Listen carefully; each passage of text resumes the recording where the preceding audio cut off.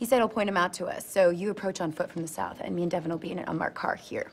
Whoa, whoa, whoa, whoa, whoa, whoa, whoa, whoa. Me and Devin? Didn't you mean Devin and I? Oh, God. I corrected your grammar. Are you so proud of me? Are you horrified? Are you super horny? I'm just really tired. Leave me alone. Don't you mean leave I alone? No, that one felt wrong. I guess we're equally bad at grammar. I'm not bad at grammar. I'm exhausted because you refuse to get a new mattress. All right, why don't you just get a new back? I didn't mean that.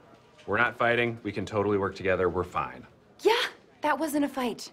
That was just sexy workplace banter. Exactly. I mean, mattresses are also sexy because that's where you do it. Yeah, and grammar is a system of language involving syntax and semantics.